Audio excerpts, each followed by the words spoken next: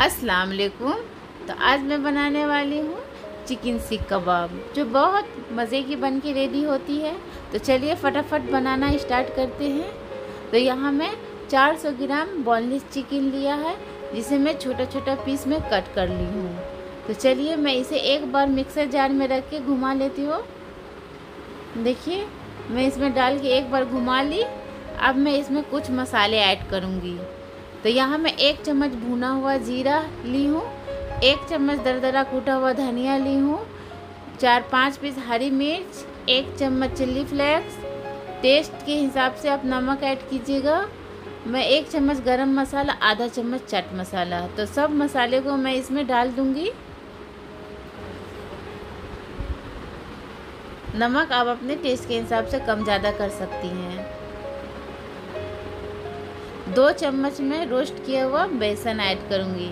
आप चाहे तो भुना हुआ बेसन चने का आटा ऐड कर सकती हैं। मैं यहाँ बेसन ऐड कर रही हूँ।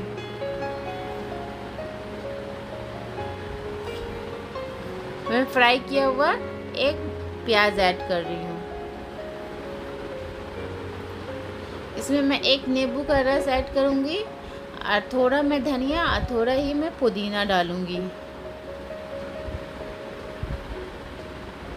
मैं इसमें पूरा एक नींबू का रस डाली हूँ। अब मैं इसे अच्छे से पीस लूँगी। सॉरी मैं बताना भूल गई थी। मैं इसमें एक चम्मच अदरक लहसुन का पेस्ट डाली हूँ। देखिए, एकदम ही महीन मैंने पीस लिया इसे।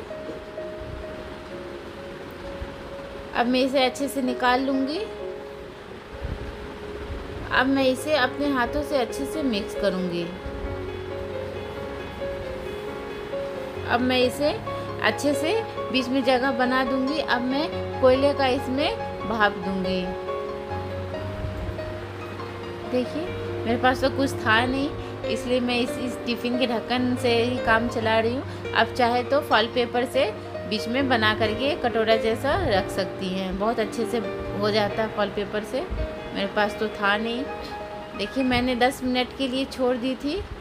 अब बिल्कुल ये कोयला ठंडा हो गया है। अब मैं इसे निकाल दूँगी। और फिर मैं एक बार अच्छे से इसे मिक्स कर दूँगी। चलिए बनाना स्टार्ट करते हैं। देखिए, मैं इसे लंबे का सेप दूँगी। आप चाहे तो गोल या पेड़ा जैसा बना सकती हैं। मेरे पास तो सीख नहीं था, इसलिए मैं पेन से ही बना रही हूँ। अब माशाल्लाह बहुत अच्छे से इस पेन से बन गया है। देखिए बहुत अच्छे से बन जाता है इसे। आप भी ट्राई कीजिए, इंशाल्लाह आपको भी बहुत पसंद आएगा।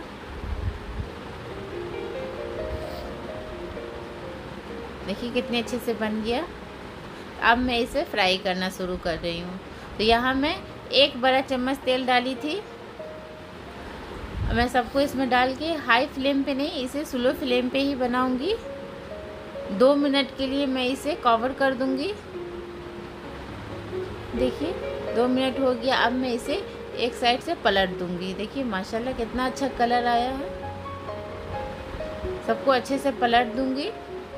और फिर मैं इसे दो मिनट के लिए कवर कर दूँगी। देखिए, दो मिनट हो गया है। बहुत अच्छे से बन गया है ये, देखिए। सब तरफ़ से पलट पलट के सेक लूँगी मैं इसे। लगभग मेरा, देखिए सीख कबाब रेडी हो गया है। अब मैं निकाल के आपको दिखा रही हूँ। देखिए, बहुत अच्छा बना है। देखिए, मैं एक पीस तोड़ के दिखा रही हूँ आपको कितना सॉफ्ट बना है। देखिए, बहुत सॉफ्ट बना है, देखिए। मैं इसे ग्रीन चटनी, टमाटो सॉस के साथ सॉल्व की हूँ। आप अपने मनपसंद से चटनी से सॉल्व कर सकती हैं। बहुत मज़े का बना है। अगर ये सीख कबाब आपको पसंद आया हो तो प्लीज़ मेरे चैनल को सब्सक्राइब कीजिए, लाइक कीजिए, ज़्यादा से ज़्यादा शेयर कीजिए। मिलते हैं नेक्स्ट वीडियो में। जब तक के लिए अल्लाह हाफिज़।